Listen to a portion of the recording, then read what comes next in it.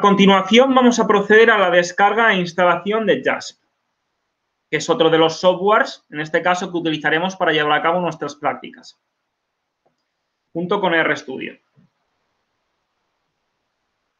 Para la descarga e instalación de JASP, nos tenemos que ir también al buscador, porque es otro software se puede descargar o obtener de, manera gratuita.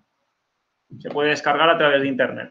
Simplemente nos tenemos que meter en la página de JASP, es jasp-stats.org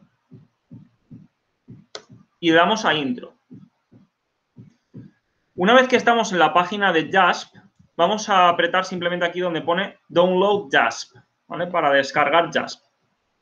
Y aquí nos remite a una versión de JASP ¿vale? Que en este caso es la 0.14.1, es la última, para Windows, para Mac o para Linux. Los que tengáis sistema operativo Mac, pincharéis aquí.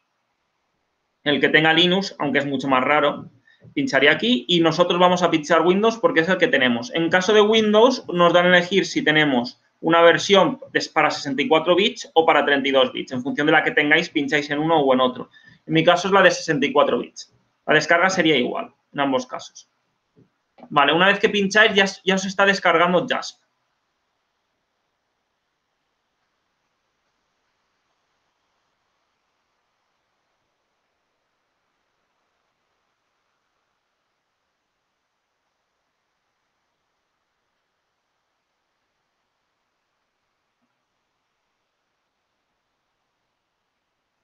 Tarda un pelín.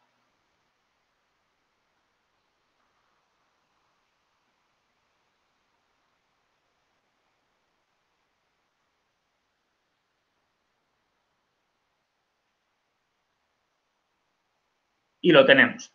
Aquí abrimos el archivo desde la carpeta de descargas y ya se procede directamente a la instalación. Aquí os sale que tenéis que aceptar la licencia, pinchamos que aceptamos y le damos a instalar. Le ponemos que sí. Y ya se está procediendo a llevar a cabo la instalación. Si os fijáis, es muy sencillo.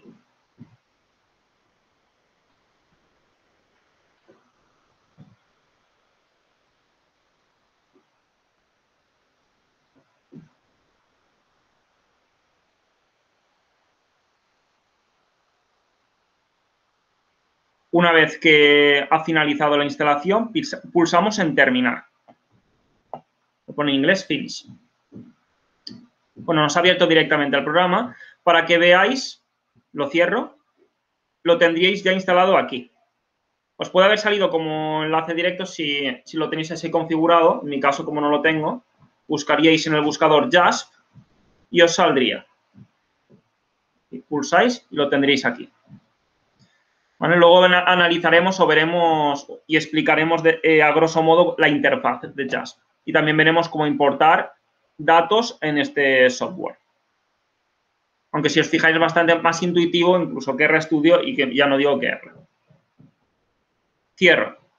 Eh, lo último que vamos a hacer va a ser, eh, por tema de comodidad, si no lo queréis hacer no es necesario, pero en mi caso lo voy a hacer así. voy a ponérmelo aquí en la barra de tareas.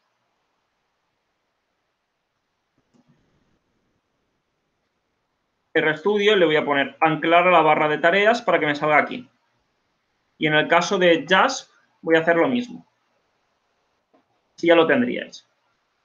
Los dos pinchando directamente. Y en, estos casos, en este caso los dos eh, links que nos ha generado acceso directo de R, los voy a enviar a papelera porque no los vamos a usar. Vamos a usar RStudio y JASP, como he dicho anteriormente, y para que no ocupe espacio en escritorio. Bueno, esto ha sido todo. Como veis, la instalación es muy sencilla.